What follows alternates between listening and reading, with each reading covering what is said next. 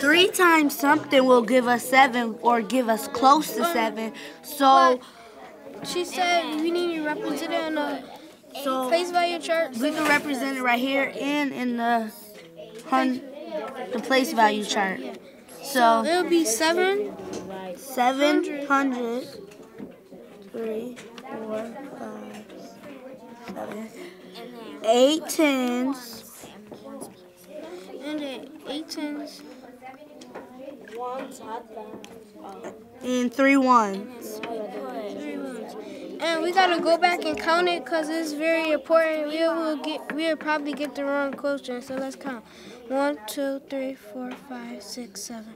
One, two, three, four, five, six, seven, eight. One, two, three.